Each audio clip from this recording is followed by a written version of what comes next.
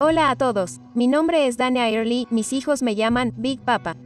Tengo seis hijos y mi esposa. Vivimos aquí en nuestro autobús turístico de dos pisos que hemos transformado. Entra y veamos mi casa.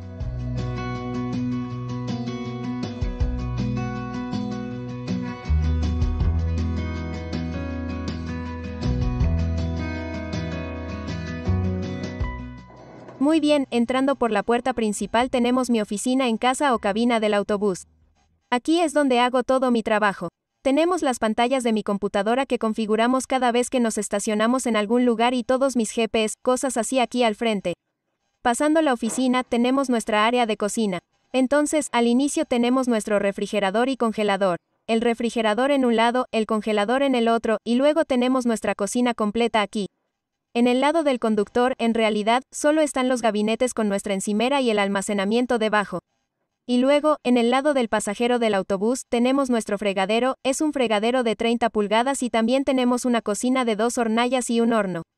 Un poco de almacenamiento en este lado. Queríamos, ya sabes, lo hicimos de este estilo de granja y elegimos hacer un horno de inducción solo porque no teníamos gasolina en el autobús, lo que habría sido así de todos modos. Así que lo hicimos de inducción. Elegimos una de dos hornallas porque, francamente, hacemos muchas cosas en nuestra olla instantánea y cocinamos mucho al aire libre y sabíamos que no la íbamos a usar con mucha frecuencia. Así que solo hicimos una cocina de dos hornallas y un fregadero bastante grande que es de 30 pulgadas y en realidad es bastante profundo con la tabla de cortar y el estante encima. Detrás de la cocina tenemos nuestro comedor y una de las cosas que nos encanta de este espacio son todas las ventanas.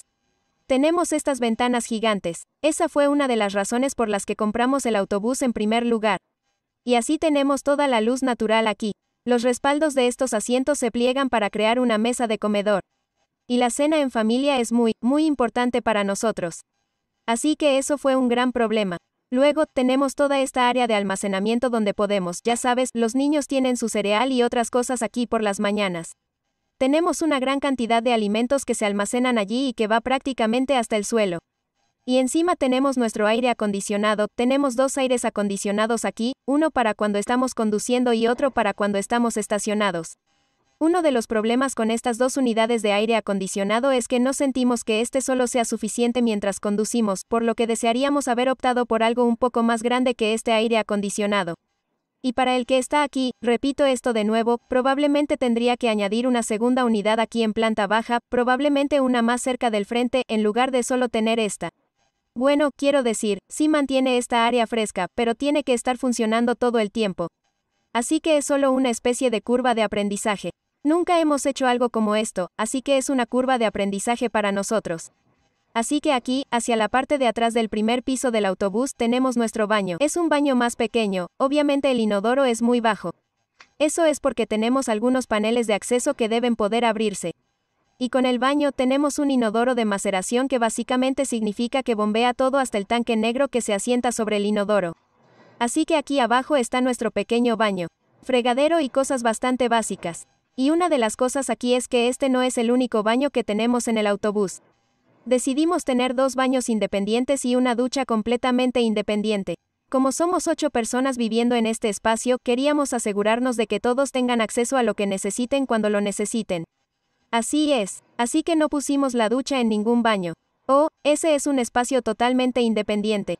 Y aparte de este baño pequeño, también tenemos otro baño pequeño arriba.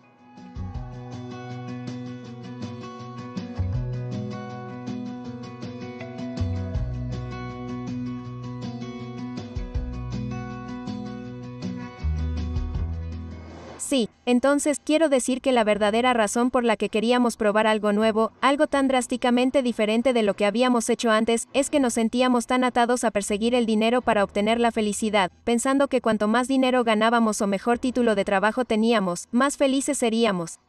Pero, en definitiva, perseguir ese dinero significaba pasar más y más tiempo lejos de la familia. Y nos dimos cuenta, ya sabes, en realidad estábamos en un viaje por carretera y manejando de regreso desde Utah. Estábamos con todos los niños en la camioneta y condujimos hasta Utah para ver algunos de los lugares de interés allí. Y luego, mientras conducíamos de regreso, pasamos por las grandes dunas de arena en Colorado y en ese momento me enojé mucho porque miré en mi espejo retrovisor y vi a todos mis hijos. Todos se portan muy bien. A todos les está yendo muy, muy bien y mi esposa y yo estamos muy felices y en ese momento supe de inmediato que esto es felicidad. Esto es lo que queremos. Entonces, ¿para qué corremos a casa? ¿Por qué nos apresuramos a regresar a Texas cuando esto es realmente la felicidad? Y, en definitiva, nos apresurábamos para volver a sentarnos detrás de un escritorio para tener, tal vez, dos horas al día con los niños, o tal vez tener dos días a la semana con ellos y dos semanas al año, no. Eso parecía una pequeña cantidad de tiempo para pasar con mi familia en el transcurso de los próximos años. Son muy jóvenes y están creciendo, Parecía una cantidad de tiempo tan pequeña. Entonces, cuando pasamos las grandes dunas de arena, tuvimos esta conversación con mi esposa y estábamos charlando con los niños y solo dije, al diablo, en el siguiente lugar que pasemos, nos detendremos. No me importa cuál sea la atracción en la carretera. Vamos a parar y lo haremos y si llego tarde a mi trabajo a quién le importa, ¿verdad? Ya no, no sé. Hubo un cambio en mi mente y simplemente ya no me importa ese dinero. Y entonces nosotros, ya sabes, seguimos conduciendo. Estábamos, estábamos un poco más allá de las grandes dunas de arena en ese momento.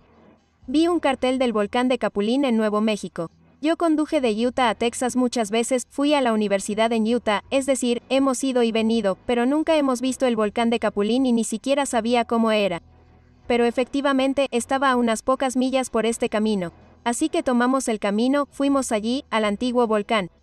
Caminamos alrededor del borde, caminamos hacia adentro, ya sabes, nos lo pasamos muy bien y cuando terminamos de hacer eso, volvimos al auto e inmediatamente miré a mi esposa Dena y dije, sabes, ¿por qué no hacemos esto todo el tiempo? Trabajo en software. Si quisiera podría hacer que mi trabajo vaya a cualquier parte conmigo. Y entonces hablamos un poco más sobre eso y antes de que hubiéramos llegado, ya sabes, a dos horas del volcán de Capulín, estábamos investigando las caravanas y cómo era tener caravanas de tiempo completo y vivir en la carretera todo el tiempo. Así que inmediatamente nos unimos a algunos grupos de Facebook, incluso antes de llegar a casa, nos unimos a algunos grupos de Facebook sobre la vida así a tiempo completo y comenzamos a buscar caravanas, clase A y quintas ruedas, y rápidamente decidimos, ya sabes que estaría bueno tener un autobús escolar. Así que estuvimos viendo algunos autobuses escolares. Buscábamos autobuses de artistas porque ya tenían literas. Y luego, tal vez unas dos semanas después de haber llegado a casa, vimos un autobús de dos pisos y lo supimos justo cuando lo vimos, estábamos como, eso es lo que queremos hacer. Un autobús de dos pisos realmente sería diferente. Y al mismo tiempo, ya sabes, sería todo lo que queríamos hacer. Podríamos recorrer el país con nuestra camioneta y ver todos los lugares de interés, lo que le da esta vida a nuestros hijos, y también pasar todo este tiempo con nuestros hijos y algunos de los años más preciados que tienen. Muy bien, ahora que hemos terminado con el piso de abajo, vamos a seguir adelante y subir las escaleras y te mostraré todo lo que hay allí arriba. Entonces, casi a la mitad de las escaleras, tenemos nuestra ducha y es una ducha de tamaño completo. Soy un tipo un poco más grande y tengo mucho espacio para moverme aquí y tomar mi ducha. Tiene la puerta Nautilus que nos encanta porque se esconde con facilidad. Y esto, ya sabes, cortamos esta puerta o la ducha en el área de almacenamiento del autobús para que tuviéramos una ducha completa de 7 pies. Así, el cabezal de la ducha está sobre mí y podemos, ya sabes, bañarnos sin encogernos y tener un espacio demasiado estrecho.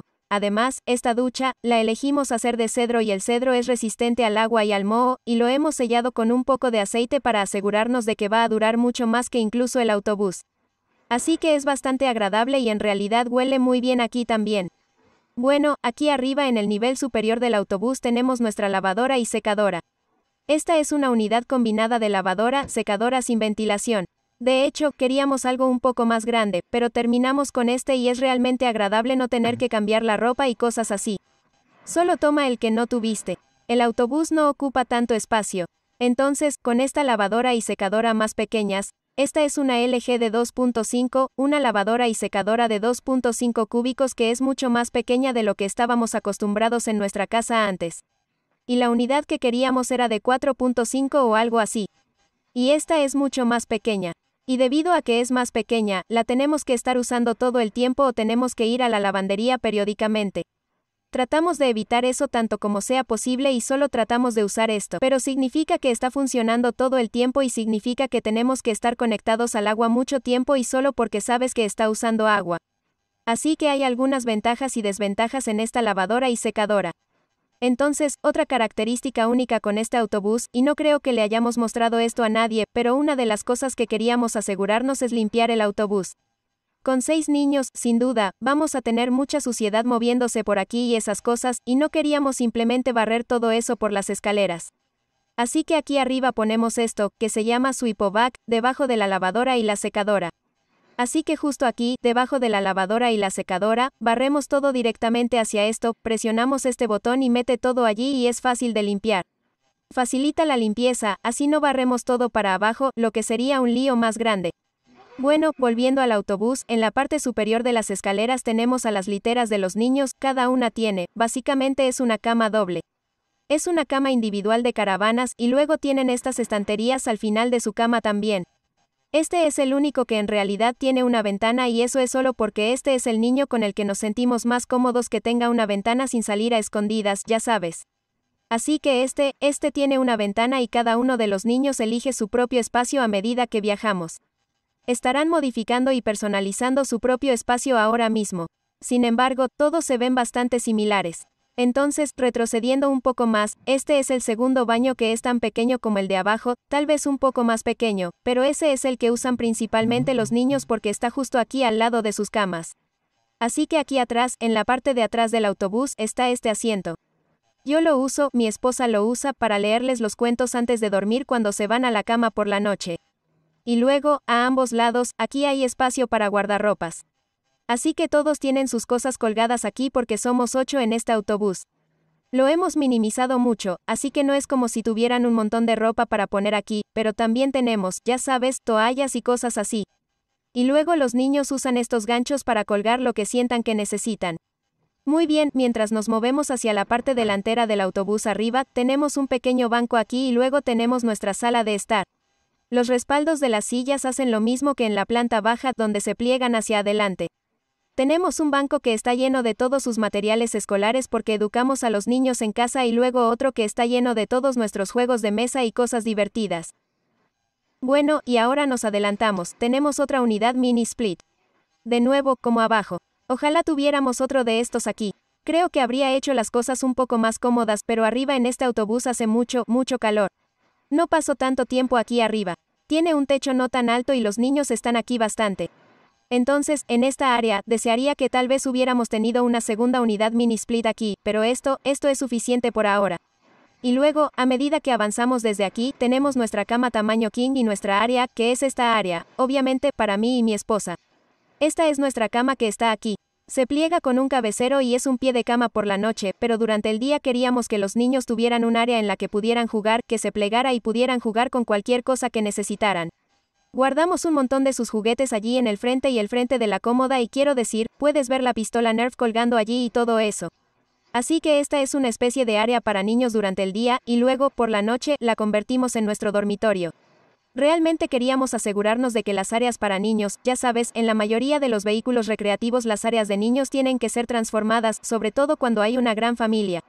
Queríamos que los niños tuvieran su propio espacio personal muy privado donde pudieran tener su propio rincón. Así que decidimos hacer de nuestra área el área que sería convertible a medida que viajamos.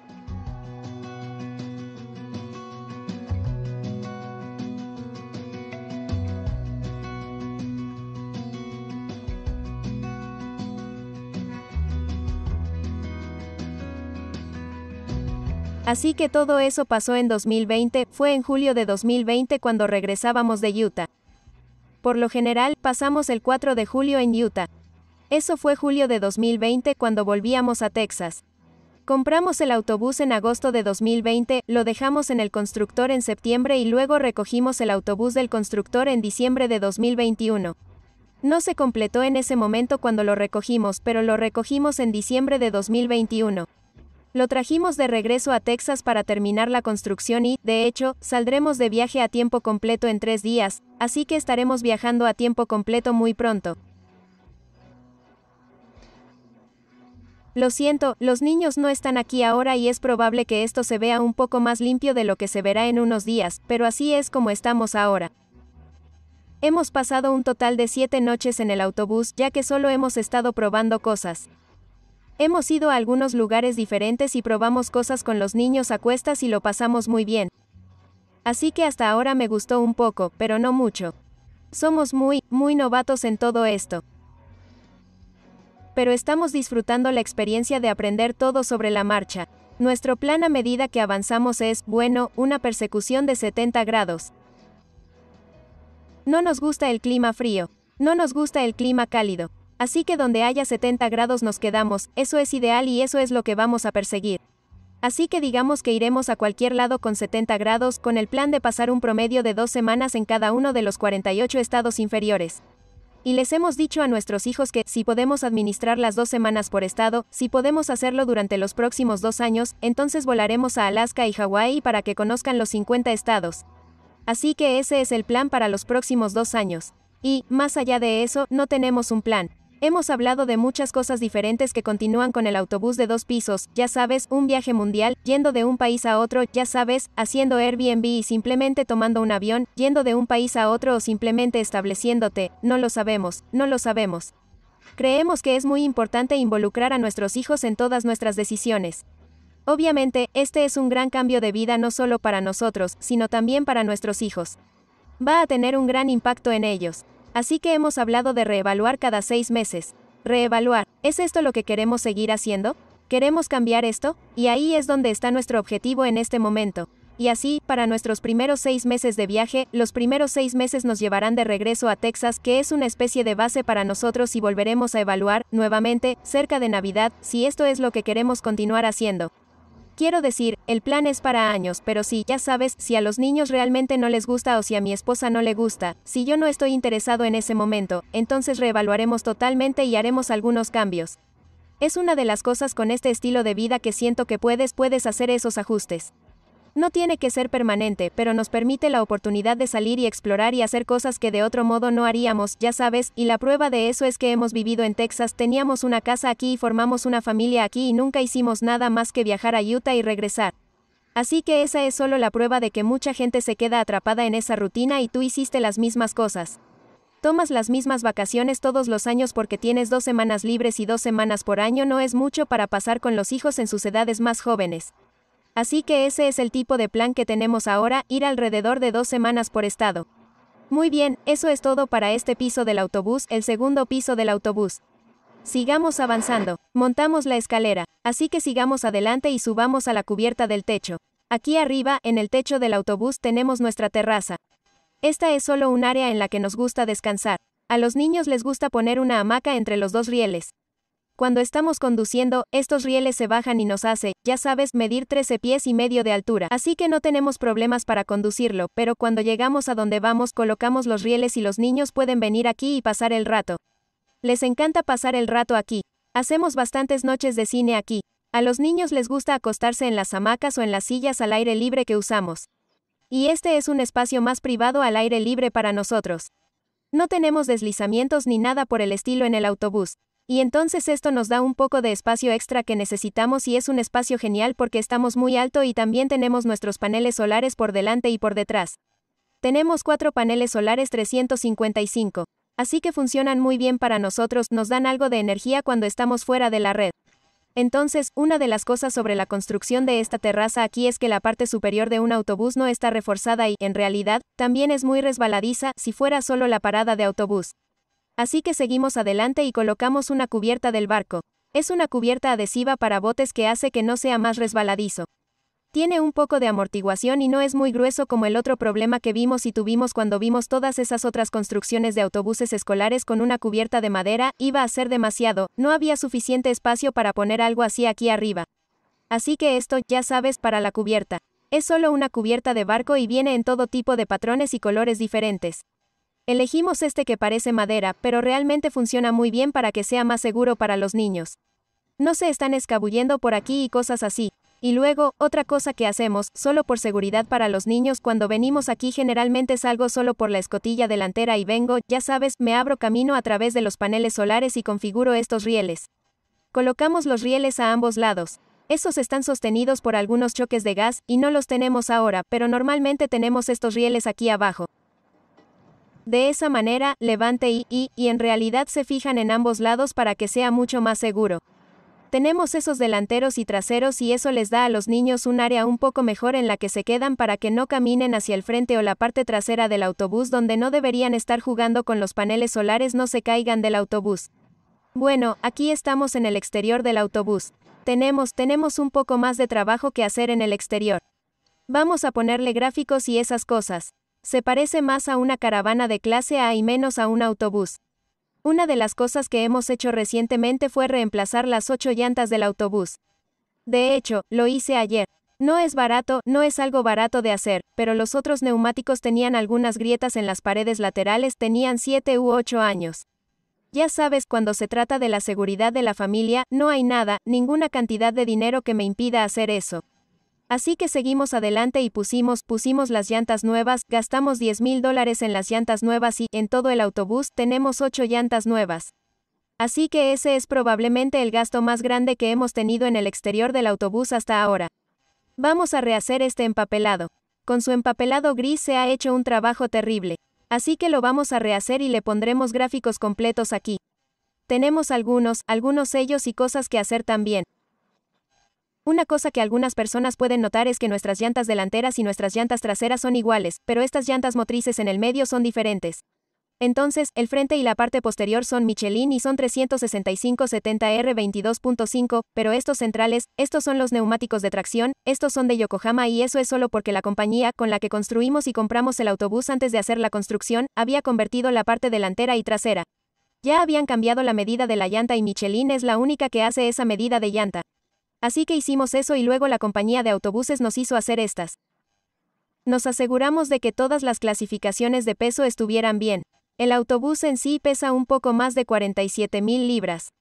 Fuimos y lo pesamos. Pesamos los tres ejes en la báscula y nos aseguramos de que las llantas que pusimos aquí sean seguras para el peso que tenemos en el camino. Y, también, tenemos una ducha al aire libre. Y en esta área de aquí, así como aquí, es donde abrimos para ver nuestro tanque negro. Así que podemos drenar todo desde aquí y hay solo una gran área de almacenamiento que tenemos aquí atrás. Así, todos nuestros tanques están de aquí atrás. Cualquier cosa que necesitemos, todo nuestro almacenamiento, todo lo que llevamos con nosotros mientras viajamos, está aquí en el área de almacenamiento y no es necesario acceder a ella desde allí. También podemos acceder a ella mediante esta puerta donde podemos entrar al autobús.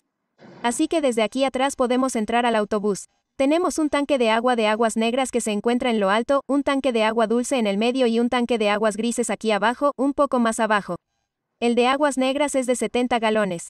Y los otros dos son de 75 galones cada uno. Así que tenemos bastante agua cuando viajamos. Tratamos de mantenernos conectados al agua donde sea que estemos, pero si no lo estamos tenemos mucha agua a bordo con nosotros y eso funciona bastante bien. El único tanque que no ves aquí atrás es el tanque de combustible, que es un tanque de combustible diésel de 166 galones. La pregunta común que recibimos es sobre el millaje de combustible que obtenemos y estamos completamente cargados. Recorremos alrededor de 6 millas y media por galón, según los vientos en contra, no.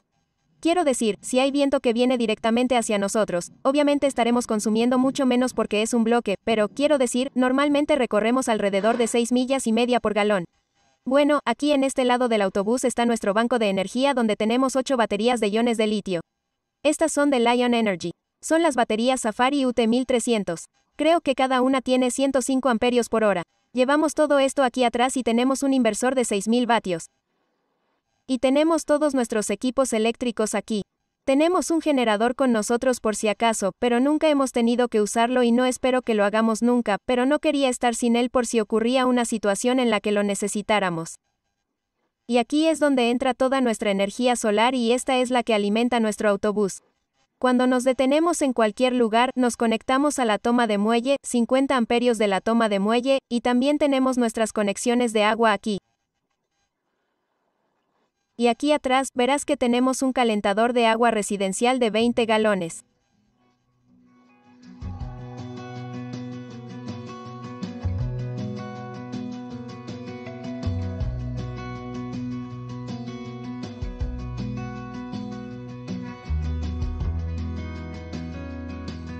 Entonces, sí, Quiero decir, sé que muchas personas están interesadas en los viajes y en las dos semanas que vamos a pasar en todos los estados y en todas las cosas que vamos a hacer.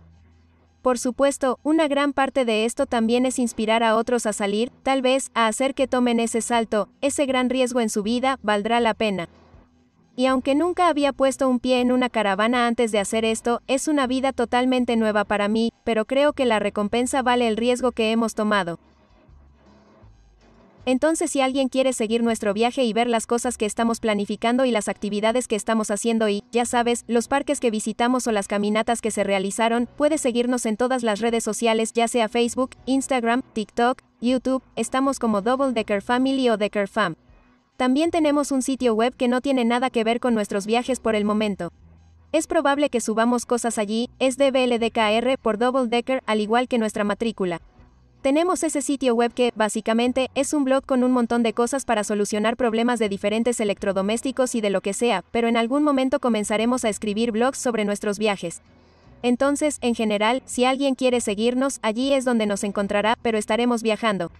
Por lo general, publicaremos, obviamente, por la seguridad de nuestros hijos y la seguridad de nuestra familia, vamos a publicar con retraso. Si ves un video, es probable que no sea del día, será, ya sabes, de cuatro o de cinco semanas atrás, y eso es solo por la seguridad de nuestros hijos. Pero, ciertamente, si entramos en tu parque de vehículos recreativos, si llegamos a la ciudad y nos ves, no tengas miedo de venir a saludarnos. Estamos, sin duda, dispuestos a conocer gente y compartir nuestras aventuras contigo. Así que cualquier cosa, cualquier pregunta que tengas, siéntete libre de preguntar aquí en este canal o visita uno de nuestros canales, pregúntanos cualquier duda que tengas. Estamos felices de responderlas.